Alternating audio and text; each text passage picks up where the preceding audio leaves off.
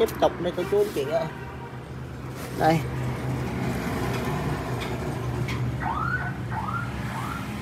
Con Sinawa này nữa là hết rồi cô chú anh chị. Hết cái loại Sinawa to to rồi. Ui, đỏ quá.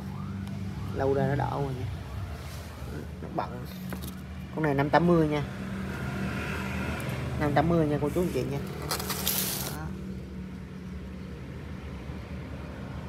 Đó. À.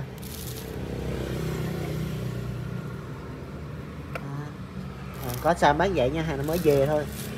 À, lần đầu tiên em thấy cái bộ làm xích kiểu này mà nó đẹp của chú anh chị.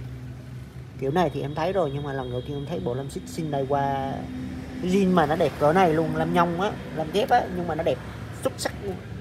Làm bản to mà nó này chắc sáu bảy tấc gì á. Này chắc sáu tấc. Ui lần đầu tiên em thấy bộ làm xích này luôn của chú chị. Em định em định tháo bộ lam xích này em để em à, em trưng nữa chứ. Lần đầu tiên em thấy bộ lam xích này mà nó đẹp cỡ này luôn. Như mới luôn. Rất gì mới luôn. Xích thì còn dày nha. Có cắt rồi nhưng mà còn dày. Còn cây lam này thì lần đầu tiên luôn á. Của chú anh chị mua về à, bỏ ngắm cũng được cho vui cũng được. Đừng có dùng. Quá đẹp. Ồ.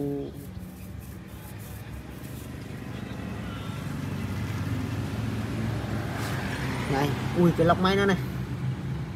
Quá mới luôn. Nha mọi người để ý cho cái con mới nãy nha cô chú chị cái con màu cam đây. Đó. mình chỉ cần đẩy cái miếng có con ốc này nè đẩy vô trong thôi. Chỉ đẩy vô trong này. Đó. Này cô chú chị nha. Đó. đây đấy. Ha mình chỉ cần đẩy cái miếng này vô trong là nó sẽ mở cái thanh xích. Ha. đó ok. Đó, mở cái thanh xích cái cơ này nhé.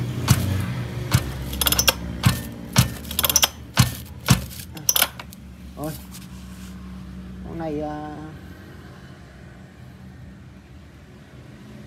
cái này nó hơi trầy trầy của chú anh chị. Cái này em để cho hai hai triệu uh, rưỡi nhá con này em để cho hai triệu rưỡi đi. Hàng là có sang bán vậy nha nó mới về. Đợi coi cái lọc gió còn à. Hai triệu rưỡi nha cô chú chị. Ôi, lọc gió còn nha. Đó. chế đồ còn nha.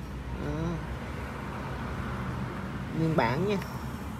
Nguyên bản lúc mình nhập 17 sao rồi bán vậy.